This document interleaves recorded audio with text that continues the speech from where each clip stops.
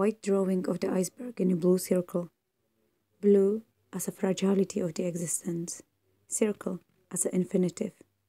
Circle as a planet Earth. Planet existence might not be infinitive though.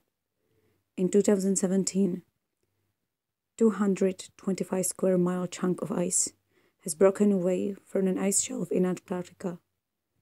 Iceberg four times the size of London. It's changed the landscape of Antarctica. Everywhere on Earth, ice is changing. Rising a sea level is not the only change. Temperamental storms, eroding coasts, and so on. There are no words, no art to describe how much, how fast the ice and the planet is changing.